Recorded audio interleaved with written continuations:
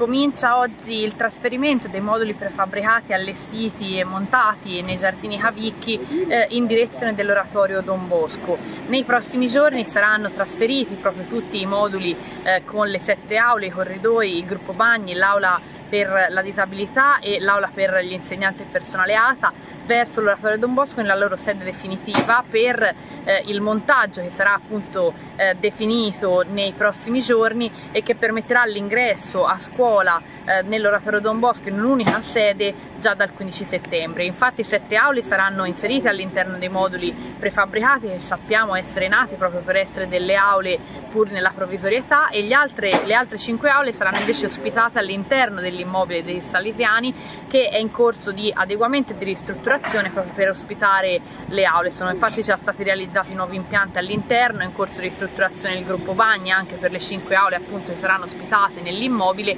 e quindi grazie a questa serie di interventi saremo nella condizione proprio di far ripartire la scuola in presenza dal 15 settembre. I ragazzi della scuola Leonardo da Vinci potranno rientrare tra l'altro nei tempi previsti perché i montaggi sono eh, in corso e sono nel pieno rispetto del cronoprogramma che abbiamo condiviso anche con le famiglie, con la dirigente scolastica e col consiglio d'istituto, un cronoprogramma che prevede appunto il ritorno a scuola dal 15 settembre proprio nel giorno dell'inizio della scuola. Sappiamo che questa è una soluzione provvisoria che, sarà, eh, che caratterizzerà l'anno scolastico 2022-2023 per permettere eh, di realizzare l'intervento di adeguamento sismico e statico sulla sede di via Garibaldi della Leonardo da Vinci. Questo è un intervento complessivo da oltre 2 milioni e mezzo che permetterà, oltre che agli adeguamenti in termini di sicurezza, di adeguare la scuola anche alle nuove ehm, alle novità didattiche, alle innovazioni che la scuola richiede e quindi rendere anche la scuola più accogliente. Quindi davvero il lavoro è serrato perché